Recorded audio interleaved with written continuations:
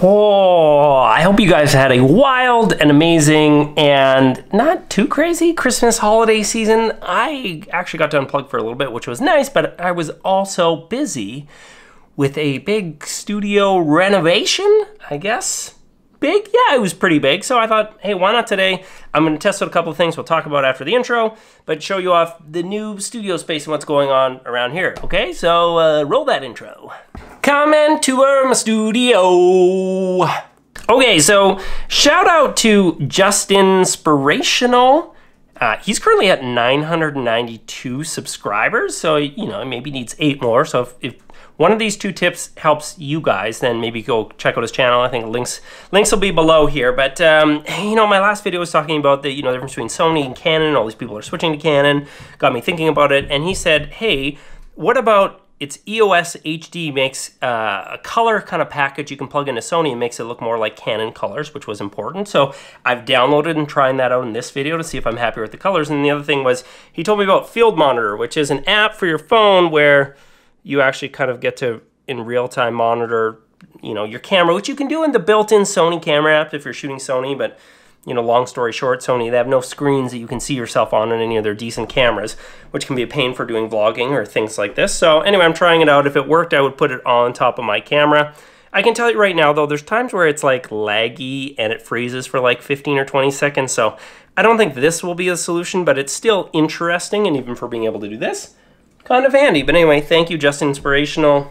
This has been cool. But anyway, you guys are probably familiar with this background thing going on behind me. This has kind of been you know, the main setup, but I thought I would uh, take it back a little bit of a notch and maybe, I don't know, I don't know if there's tips or tricks there might be in this that we can show around, but so let's back this out a little bit. So normally the setup when we're shooting here is I'll have a couple of different LED lights up here using some of the lights off the ceiling and the odd time I'll throw in a lamp or two to be able to light up the background, but it's basically just you know, about a 16 foot wall. Uh, background stuff, we've got a big desk with storage and different things that we use in, you know, a couple of different ways. If you're shopping for LED light bulbs, LEDs can be kind of bad for flickering or producing like rolling bands in your videos. I found a brand, FEIT Electric. I don't know if you'll be able to see it there. I think so.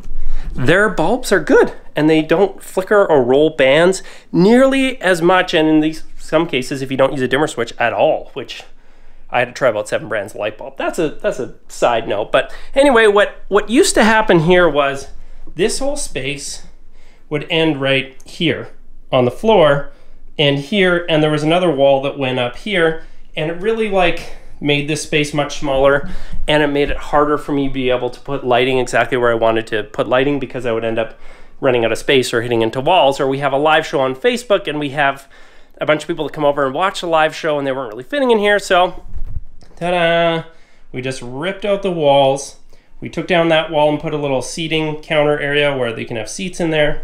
And we've got a couple of desks. This is Greg. Greg, Greg works with me. He's the partner in the business. He's editing his vlog. Greg, what are you editing your vlog in? Uh, iMovie. Right? No shame. And it works. No shame works. His vlogs are funny. His personality wins. But uh, my new space here, which again, I used to kind of have a room in here, but there was like a big cabinet in here. If you saw my Moza Air review, you would have seen some of that. But now it's just wide open. I've got my desk, got a nice monitor, audio, computer, yada yada. And then just kind of shelving with all the stuff that I need fairly quickly to be able to grab. And then what else? We've got a kitchen with a fridge and a sink and coffee apparatuses.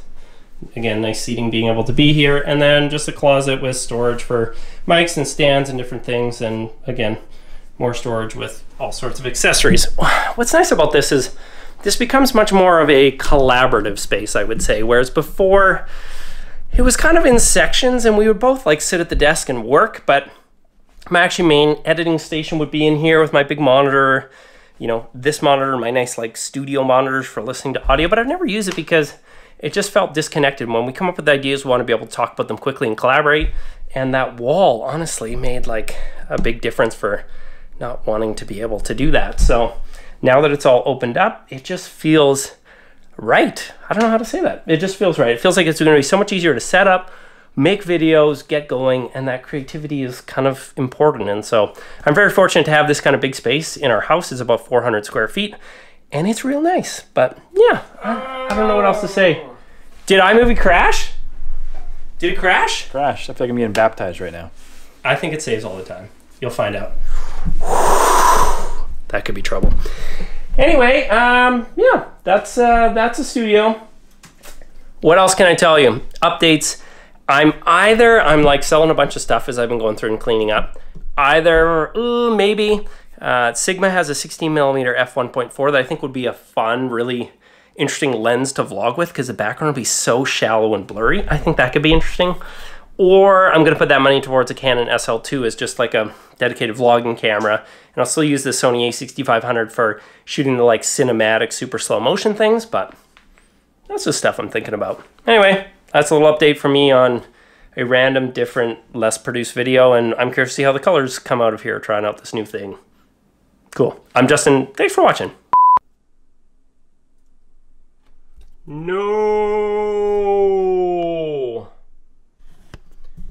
I guess that was the other part of the update was I used to always edit in Premiere and I've been trying Final Cut Pro for the last 30 days and I love it and I want to switch. I just don't want to spend the $400 right now. It's so much faster, you guys. That that'll be another video, another topic. What do I do? Edit this in iMovie? Maybe. I still have Premiere. I'll set it in Premiere. Ooh, I like Final Cut.